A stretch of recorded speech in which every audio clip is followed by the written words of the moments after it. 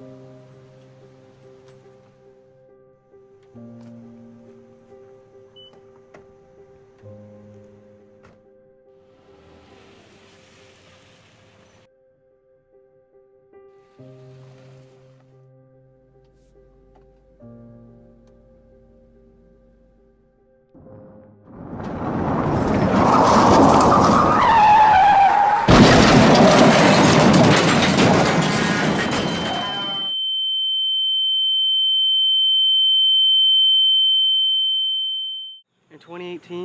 over 9 people a day were killed in car crashes. About 1 in 5 people that were involved in these car crashes were 16 to 25 years of age. Don't become a killer. Turn your phone off. Don't look at calls and text and don't scroll social media.